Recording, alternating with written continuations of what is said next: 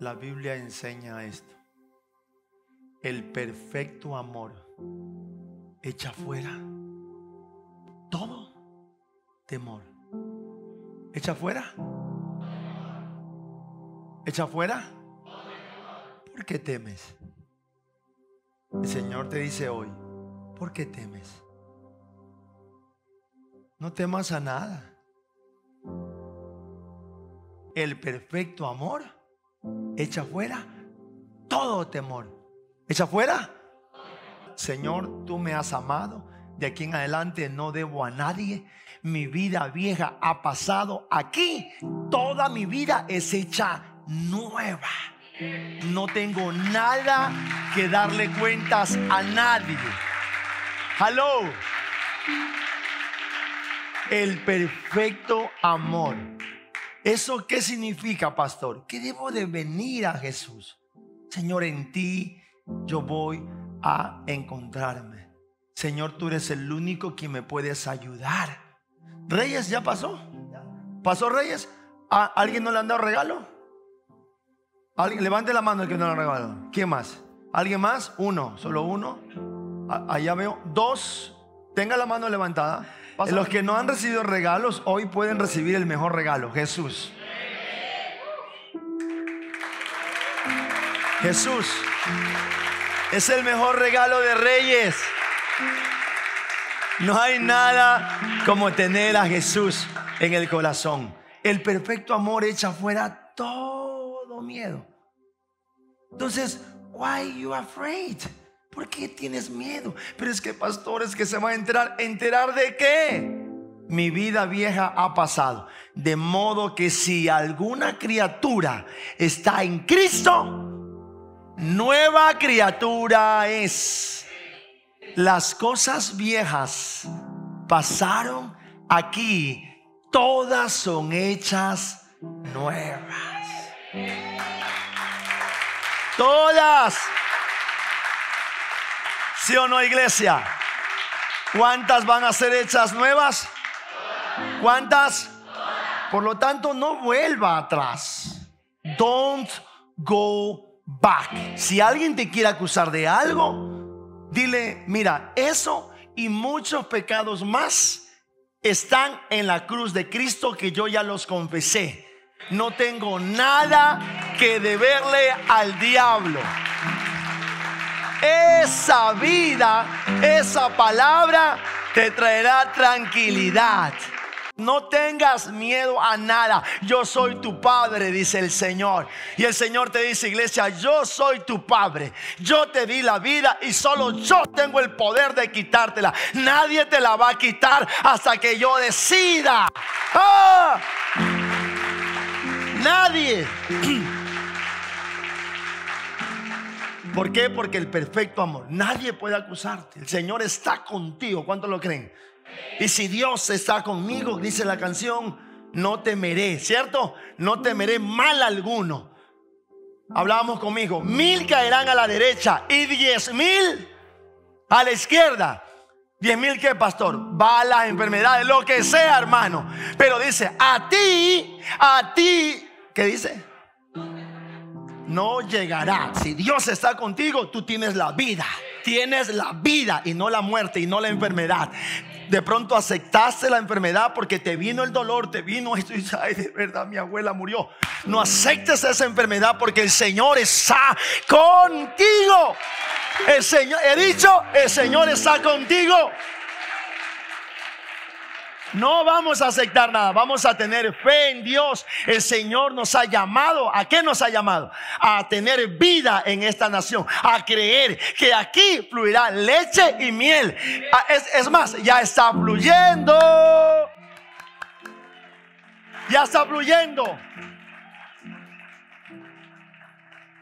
Dice el Señor, apacentando las ovejas de Jetro, su suegro Moisés, sacerdote de Madián, Jetro era sacerdote de Madián, llevó las ovejas a través del desierto y llegó hasta Oreb, monte de Dios.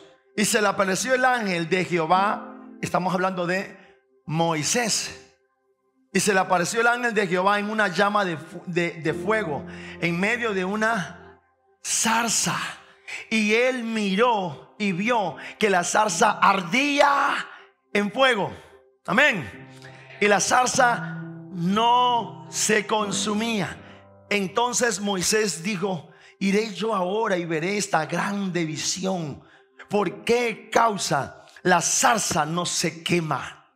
Moisés vio, fue a ver la gran visión. ¿Por qué no se quema esa zarza? ¿Qué tiene ese arbusto que no se puede quemar? Viendo Jehová que él iba a verlo, llamó. Dios en medio de la zarza, Dios en medio de la zarza sale y le dice, Moisés, Moisés. El Señor respondió él, heme aquí. Y digo, no te acerques, quita tu calzado de tus pies, porque el lugar en que tú estás, tierra santa es. Y digo, yo soy el Dios de tu padre, aleluya, Dios de Abraham, Dios de Isaac, Dios de Jacob. Entonces cubrió su rostro. ¿Por qué cubrió el rostro? Porque tuvo miedo, tuvo temor de mirar a Dios. Dijo luego Jehová, bien he visto la aflicción de mi pueblo que está en Egipto y he oído su clamor a causa de sus exactores, de sus depredadores, pues he conocido sus angustias y he descendido para librarlos, dice el Señor, de mano de los egipcios, de mano de los de este mundo y sacarlos de aquella tierra a una tierra buena y ancha. Diga conmigo, buena y ancha a tierra que fluye bendición y victoria, leche y miel. A los lugares del cananeo, dice, del eteo, del amorreo, del fereceo, del ebeo y del jeuseo, todo lo que termina en eo. El clamor pues de los hijos de Israel ha venido delante de mí. Mire lo que pasa cuando hay un pueblo que clama. Miren lo que pasa cuando hay un pueblo que clama. Cuando hay una persona que viene los miércoles y se dedica a clamar y a clamar y a clamar y a clamar. Nuestra iglesia va a dar un rumbo. Va a dar un rumbo totalmente diferente. Y muchos vendrán por los milagros. El clamor pues, de los hijos de Israel. Has venido. ¿Dónde viene el clamor? ¿Dónde va el clamor cuando uno ora? ¿Dónde va? Dios. ¿Dónde va el clamor? Delante de Dios, el clamor, el chisme, eso va al infierno. No toque el chisme, no, no toque el cuento. Hable el clamor de Dios. Los miércoles y los sábados son miércoles de milagros. De milagros. Cuando Dios desata una palabra, la saca. Y el que la cree, la cree la creyó. Yo creo eso para mi familia. Yo creo eso para mis hijos. Yo creo eso para mi vida. Yo creo eso para lo que estén necesitando. Yo lo creo. Yo lo creo. Pero el que no creyó, no creyó. Y dice, ha subido delante de mí. Por eso cuando uno viene los miércoles es a clamar. Y también he visto la opresión. Los que oprimen con los que dice, con que los egipcios los oprimen. Él mira al perverso. Y dice, aquí no te metes. Cada uno de nosotros cruzamos por desiertos. Tal vez nuestra vida pasada fue un desastre. No sabíamos qué hacer. No teníamos eh, una enseñanza, una guía, no teníamos nada, al contrario, lo que teníamos de pronto son deudas, lo que teníamos son problemas. Pero es ahí cuando Dios se aparece. Y bendito Dios que de una u otra manera Dios nos llamó. Pero de la misma manera así llamó a Moisés. Moisés estaba en un palacio siendo formado, ¿cierto? Y en medio de eso, él, pero sin embargo vivía con egipcios. Y él ve una disputa, una pelea entre un egipcio y un judío, ¿cierto? Y, él bien, se mete en medio de esa pelea y coge una piedra y mata al egipcio. Cuando se da cuenta de eso, sale corriendo. sale corriendo por las montañas, por el desierto, y en medio de ese desierto es que acontece esto lo que acabamos de leer acerca de la zarza. Dios estaba llamando, Dios tenía un sueño. ¿Cuántos tienen sueños? ¿Cuántos tienen propósitos? Pero ¿qué me dice si no es mejor siempre hacer y terminar haciendo el sueño de Dios? Miren, nada tiene éxito como terminar haciendo el sueño de Dios. Sea que tengas 20 años, sea que tengas 30, que tengas 50 o que tengas 70, lo más gratificante y seguro para nuestras vidas es terminar haciendo el sueño de Dios. Tendrás toda la protección. Y este joven bastante adulto, ya Moisés, ya de una edad madura, salió huyendo, huyendo al desierto, atravesó el desierto y hasta el monte de Dios dice que llegó. Pero ese hombre atravesando ese desierto con pocas ovejas, esas ovejas no eran, dice, ni suyas, porque eran de, de Jetro, su suegro. No eran ni de él, eran alquiladas, las estaba llevando, no eran suyas. Y en medio de eso, también se presenta delante Dios y lo llama, hace algo, Dios siempre hace algo. Veo personas que de pronto vinieron cuando se presentaron niños, cuando tenían un problema. Dios se presenta a través de cualquier cosa. Era Dios en medio de eso. ¿Aló? Era Dios en medio de eso. ¿Quién era?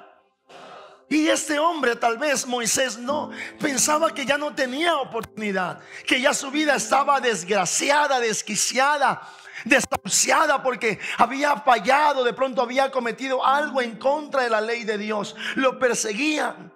Pensó que estaba errado. En la tierra equivocada también pensó. Seguro con personas equivocadas. ¿Será que estas ovejas no estoy en lo correcto? Y vienen esos pensamientos a nosotros también, porque somos humanos, todos somos creación de Dios. ¿Cierto? Y estamos ahí y dice uno, ¿para qué estoy en este problema? ¿Dónde me metí con estas personas, con esta persona? Pero en medio de eso Dios se presenta y se presenta y estás llegas a Barcelona y Dios se presenta en un lugar y te dice, "Yo no me he olvidado de ti." ¿Cuántos creen esa palabra, iglesia? Porque Dios no se había olvidado de Moisés. Lo más importante es que debemos de soñar para Dios. Él estaba de pronto de pronto estaba rechazado, se sentía, ya no quería saber nada porque, porque había hecho algo malo. Y cuando uno hace algo malo, o cuando de pronto te llega un problema, tú dices, bueno, este es un castigo de Dios. Pero déjame decirte que de pronto no es el castigo de Dios, sino es el sueño de Dios que tú estás empezando y que Dios te está llamando. En donde estás, no importa cómo estés, lo importante es que desde ahí empieza el sueño de Dios para tu vida. Si escuchas su voz, puede empezar ese sueño. Él tiene sueños grandes, dice, porque yo sé los pensamientos, los planes que tengo para ti, pensamientos y planes de bien, para darles el fin que vosotros esperáis, dice el Señor. Dios tiene un plan, un propósito. Siempre hablamos de un propósito porque esa es la palabra más adecuada. Un camino, un destino. Y eso es lo que Dios tiene para nosotros. Pero a veces pensamos de que Dios se ha olvidado de nosotros. Tenemos muchos sueños, tenemos muchos deseos, queremos prosperar, queremos avanzar en nuestra vida. Pero hoy te quiero decir una cosa, Dios no te ha desechado. Dios no te ha desechado, Dios no te ha olvidado. Tendrá de ti misericordia como lo tuvo de sus antepasados. Si lo creen o no lo creen, iglesia. Pero a veces tú piensas, ¿será que Dios se olvidó de mí? ¿Será que Dios ya no se acuerda? Porque no veo, no veo milagros en mi vida, no veo algo. Pero el Señor, como leíamos en la última parte del, del capítulo 3, dice que el clamor del pueblo subió delante de Dios. Y Él escuchó ese clamor. O sea que cuando uno clama con todo el corazón, Él, él escucha, iglesia. Estabas pensando de que Dios te ha olvidado, pero no, Dios no te ha olvidado. Él te está escuchando cada día que tú hablas con Él. La pregunta es, ¿cuánto estás hablando con Él?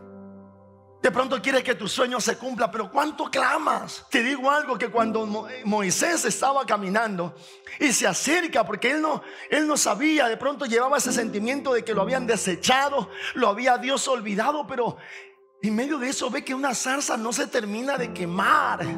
Y esa era la atención de Dios que estaba diciendo, aquí estoy, José Luis.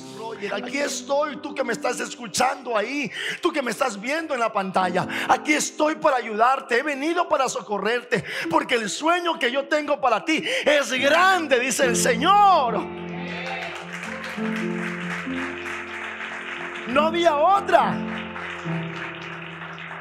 Y hay hombres y mujeres que están pasando problemas y están pensando lo peor de sus vidas, pero Dios tiene un sueño para ti. Y Él mira que la zarza no se quemaba. Es como yo le decía al Señor en, en, mi lugar ahora, antes de venir acá, le decía, Señor, tú vas a soplar de los cuatro vientos, Señor. Personas, hombres y mujeres que te amen, Señor. Y yo sé que el Señor va a llenar su casa, va a llenar la iglesia del Señor, su iglesia, porque es su iglesia. Y este año el Señor va a soplar como sopló con Moisés. Veía que la zarza no se quemaba. Cuando se acerca a esa zarza, es un momento que le dice, quita el calzado de tus pies, porque el lugar que pisas, Moisés, que le dice, santo es. La zarza. Y ahí fue cuando Moisés vio aquellas palabras, escuchó aquellas palabras y dice que la zarza empezó a arder en Moisés, aleluya porque él vio que esa zarza no se quemaba. Yo te digo algo a ti, la zarza volverá a arder en tu corazón, aleluya. La zarza volverá a arder en tu familia, la zarza volverá a arder dentro de tu vida volver a arder. ¿Cuántos quieren que la zarza arda? Tenemos que volver a que la zarza arda nuevamente en nuestros corazones. Amén, iglesia. Cuando permitimos que la zarza arda, la vida de Moisés nunca más fue igual. Nunca más fue igual. La vida de Moisés cambió por completo. ¿Por qué, pastor? Porque eso es lo que Dios quiere. Que, las, que el sueño de Él, muchas veces tenemos sueños nosotros. Y está muy bien que tengamos sueños. Hay que tomar nota, tener claridad, pero más lindo y más precioso, esos sueños se van a cumplir cuando nosotros hagamos el sueño de Dios para nosotros. Se vale un aplauso delante de Dios. Cuando hacemos el sueño de Dios, todo cambia. Me gusta la vida de Moisés porque a partir de ahí nunca más usted vuelve a encontrar, nunca más que Moisés pasaba en problemas y en miedos y en sustos de esa índole, sino que a partir de él, de ahí él empezó a hacer el sueño de Dios. Cuando tú lo ves a, a, Moisés, el pueblo se quejaba después, pero de ahí nunca más él dedicó a escuchar el sueño de Dios. Y a veces tú estás caminando por las calles de esta ciudad Estás caminando por el lugar de tu trabajo y estás pensando que estás desechado, que tienes que tirar por tu vida propia, pero te digo, Dios está contigo.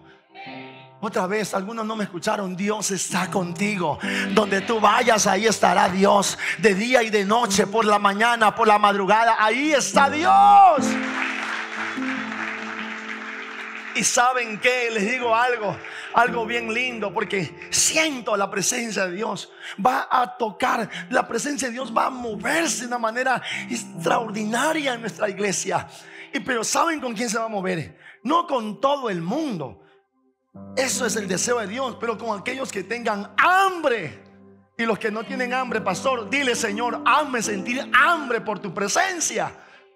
Se trata de eso de que sintamos esa hambre, ese deseo. Y tú vas a ver cuántos problemas pasan alrededor de tu vida. Y tú dices, uh, uh, yo ahí no me meto, yo voy a seguir encendiendo la llama de Dios para mi vida. Y de repente te vas a volver invitando, aconsejando a esas personas viendo que eso es lo que hay en el mundo. Pero en ti está la zarza ardiendo dentro de tu corazón y va a seguir ardiendo este año tanto, tanto que te vas a llenar del fuego de Dios. ¿Alguien dice amén a esto? Dios quiere arder en ti. Pero ¿qué pasa? Cuando no quieres escuchar la voz de Dios. ¿Sabe lo que pasa? Le cuento una historia bíblica. Dice que Jonás estaba, Jonás estaba escuchando, escuchó la voz de Dios. El profeta escucha la voz de Dios. Un profeta. Y Dios le da una orden y le dice, vete para Nínive. Y el hombre bien mandado, ¿cierto? A su propia conveniencia. Y se va a un puerto llamado Jope, Tarsis. Y allá se, se va para Tarsis. No obedeciendo a Dios, huyendo de Dios. Y ahí está cuando muchas personas no quieren escuchar la voz de Dios. Toca que está a tu lado y dile, escucha la voz de Dios. Tócalo. Y le despiertas de escuchar la voz de Dios. Hay muchos que están en la iglesia pero se sienten solos. Y aunque son solteros, no te debes sentir solo porque si la presencia de Dios está contigo, todo el mundo puede estar contra ti, pero no hay nadie quien te podrá derrotar, nadie quien te podrá derribar, porque su presencia te dará la victoria. ¿Lo crees? Si Dios está con nosotros, iglesia. Y Jonás, no escuchando la voz de Dios, porque le escuchó desobedeciendo, mejor vamos a decirlo así, se fue para Tarsis. Y Dios le dijo, haz mi voluntad, haz mi sueño. Y algunos que van tras sus sueños, sus deseos, pero nunca quieren hacer el sueño de Dios. El sueño de Dios, ¿saben cuál es? Salvar las almas, ganar los perdidos. Cuando dicen amén a esto? Los solteros, quiero decirles, el mejor propósito para su vida no es encontrar pareja, sino hacer el sueño de Dios, ganar almas para Cristo, llevar la salsa ardiente para ellos que están muertos en delitos y en pecados. Eso es hacer el sueño. Miren, le digo, yo estudié en la universidad. Pero le voy a decir una cosa muy sinceramente. En el cielo no me van a preguntar si fui o no fui a la universidad. No con esto, y al contrario, empujo a la gente a que estudie. ¿Y cómo es eso, pastor? Ahí Dios le dé sabiduría. No ponga a otra cosa que sea Dios primero. Amén. Oiga, pero a mí no me van a preguntar en, el cielo por la universidad. A mí no me van a preguntar en el cielo por la ropa que he visto.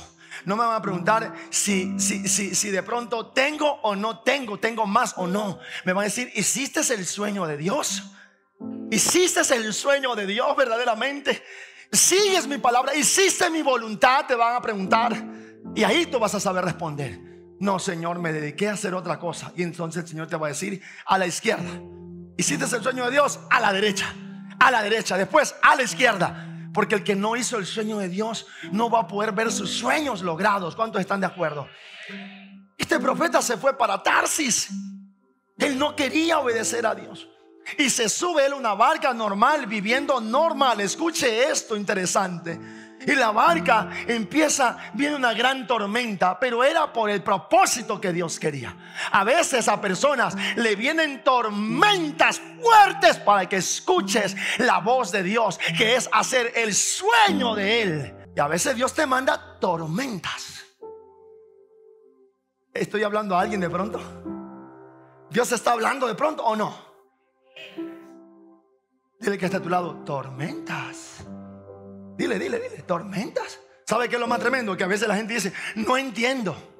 Así, así, no entiendo. Hágale que te lo diga, no entiendo. Y así pasa. No entiendo qué me pasa. Apégate a la zarza. La zarza está ardiente. Y el que se apega a la zarza será guardado clama al Señor. Amén, iglesia. Se sube una barca y viene una gran tormenta en la barca y esta barca se partía. Y ellos se dan cuenta que el problema, usted sabe, en Proverbios 26, 2 dice, la maldición nunca vendrá sin causa. Nunca vendrá sin qué.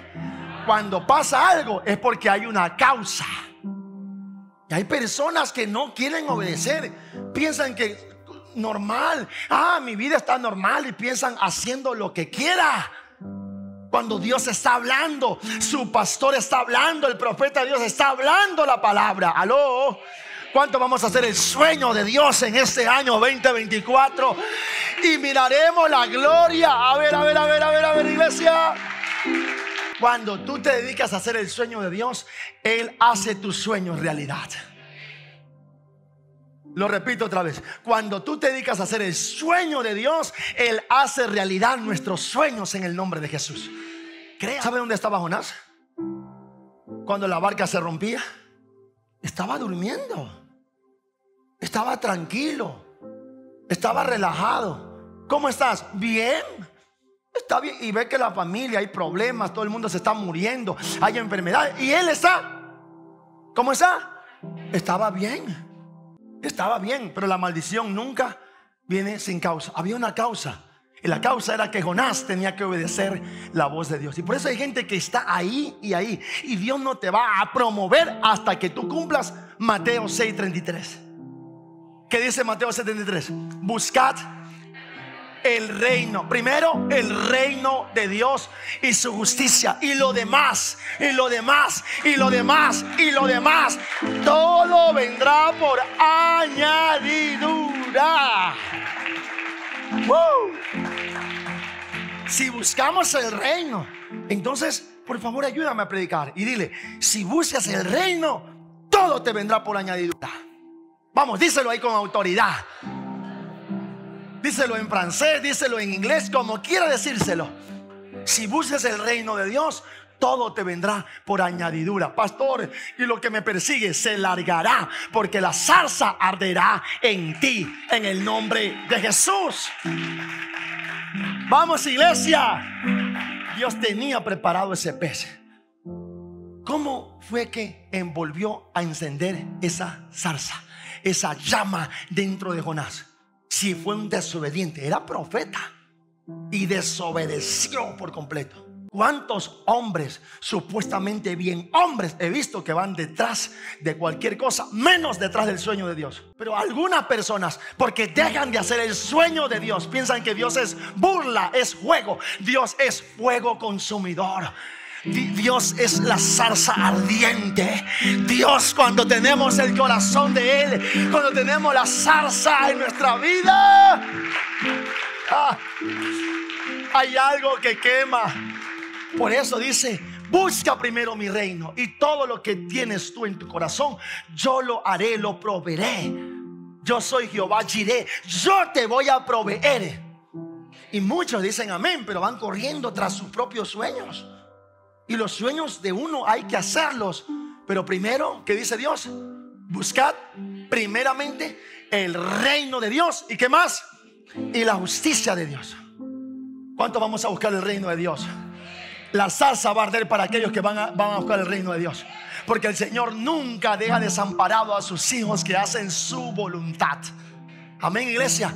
Y este varón tuvieron que echarlo a la mar. Y allá Dios le tenía preparado así, mírame, un pez de este porte, de este porte, hermano. Y se lo comió a, ¿Y qué pasó? Se lo metió allá. Y allá empieza a mirar, dice, me encanta. Tus algas me rodearon. Ahí hay momentos donde uno ya no puede más. Me dice, ya no puedo más, Señor. Me entrego a ti, Jesús. Jesús, me quiero entregar a tu vida. Me quiero entregar a tus pies. llega un momento en la vida de uno, como Moisés, como Jonás, que ya no puede. Y uno se rinde a Jesús. Y uno dice, Señor, tómame, Padre. Tómame porque yo ya no puedo más. Pero es que soy pequeño, tengo 12 años. Con 12 años tú puedes empezar a hacer la voluntad de Dios. Yo a los 12 años abrí mi corazón y me apegué a la casa de Dios. Porque no hay edad para servir a Jesús, para seguir a Jesús. ¿Cuántos creen esto, iglesia? Y dice en el libro de Jonás, capítulo 2, 7, dice la palabra de Dios, cuando mi alma desfallecía en mí, me acordé de quién? De Jehová. Lea esto que con esto termino. Y dice, y mi oración llegó hasta ti en tu santo templo. Se acordó Jonás de que ese día que se metió al pez, era miércoles de oración. Y dijo, yo voy a orar, no me queda otra. Y ahí sacó una oración y dice él, y mi oración llegó hasta ti en tu santo templo. Mira hasta donde llega la oración. Por mucho que tú estés mal, tan mal, hasta donde llega una oración, un clamor de Dios. Mi oración llegó hasta ti en tu santo templo. Y dice, los que siguen vanidades ilusorias, su misericordia abandonan.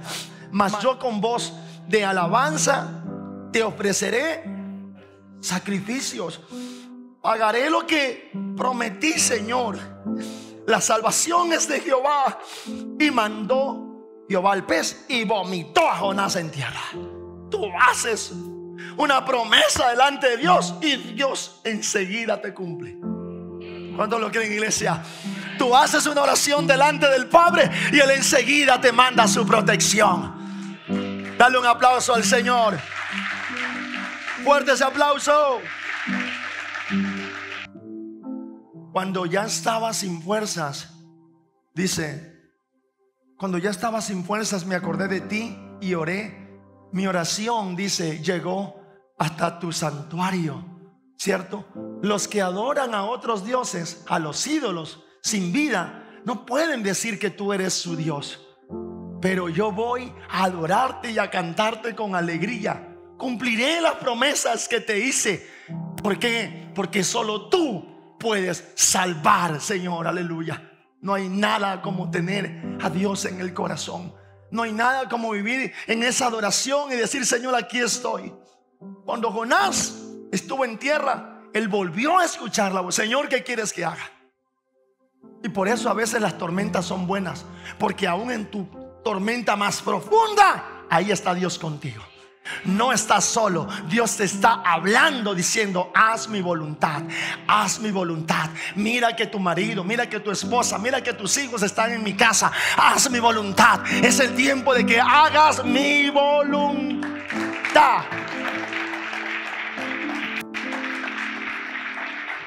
Ve y predica a Nínive. Y dice que él escuchó su voz y la zarza volvió a arder en el corazón de Jonás. Ya después usted conoce toda la historia. Empezó a arder. ¿Sabe lo que va a pasar en este 2024? ¿Sabe cómo va a venir la gran cosecha?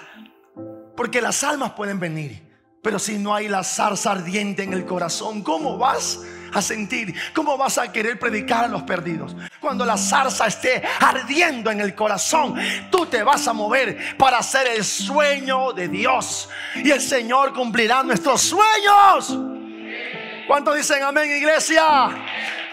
Fuerte ese aplauso al Señor.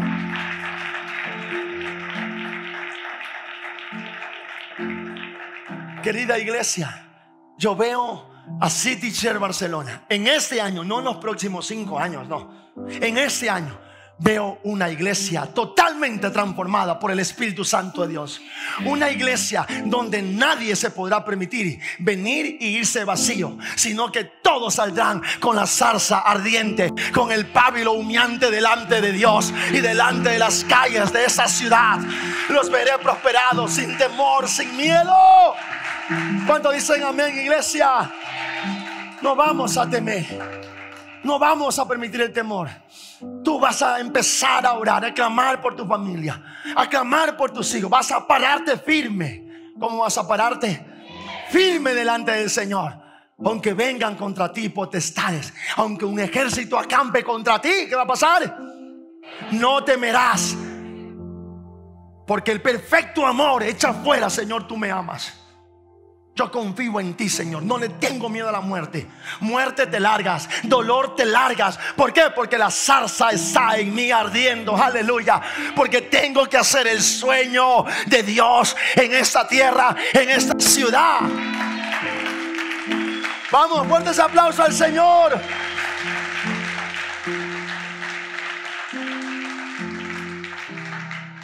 Cuando hacemos el sueño de Dios como dice en el libro de Mateo 6:33. Buscad primeramente el reino de Dios y su justicia. Y todo, como dice, y todas,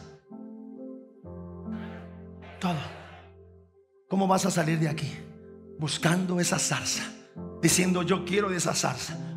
Hoy noche, tú, devocional, no puede ser que tú cierres los ojos escuchando las redes sociales. Tiene que ser escuchando la palabra de Dios. Mañana, al levantarte, escuchando, ponle audio a la palabra hasta que te despiertes bien y al comunicarte con Dios. Porque el Señor dice, tú haces mis sueños y yo cumplo los tuyos. El Señor dice, tú haces mis sueños y yo cumplo los tuyos. Yo enciendo la zarza que hay en tu corazón. Amén, iglesia. ¿Cuántos quieren esa zarza ardiente? Póngase de pie aquel que quiera esa salsa ardiente. Porque esa zarza ardiente va a arder, pero va a arder en nuestro corazón. Amén. Y vas a llevarla a las familias. Y tú vas a dar vida a las familias. Tú vas a dar vida. ¿Cuántos dicen amén a esto? Vamos a dar vida a las familias. Hay muchas familias que están muertas en pecado, están muertas en enfermedades, están muertas en problemas. No saben qué hacer. Pero hoy Dios se ha acercado a ti diciendo, yo soy la zarza que no dejará de quemarse, seguirá ardiendo para todo aquel que me cree. ¿Cuántos lo creen, iglesia? Solo para el que me cree. ¿Cuántos creen en la zarza ardiente? Esa zarza tenemos que llevarla, llevarla, llevarla. Y tener comunión con esa zarza todos los días. Todos los días tiene que haber esa linda comunión. El fuego tiene que encenderse.